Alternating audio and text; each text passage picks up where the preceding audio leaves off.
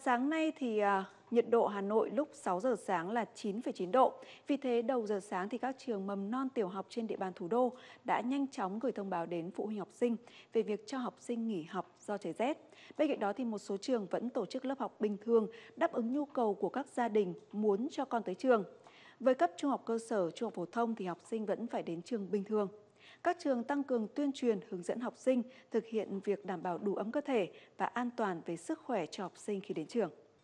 Sáng sớm nay 23 tháng 1, nhiệt độ ở miền Bắc hầu hết giảm xuống dưới 10 độ C, rét hại bao trùm Bắc Bộ. Tại đỉnh núi Mẫu Sơn, tỉnh Lạng Sơn và đỉnh Phiêu Quắc, tỉnh Cao Bằng, từ chiều tối qua nhiệt độ đã xuống dưới 0 độ C, băng giá hình thành ở khu vực đỉnh núi. Và lúc 6 giờ sáng nay thì nhiệt độ quang trắc được tại Mẫu Sơn là âm 0,9 độ, thấp nhất trong các trạm đo khí tượng ở miền Bắc.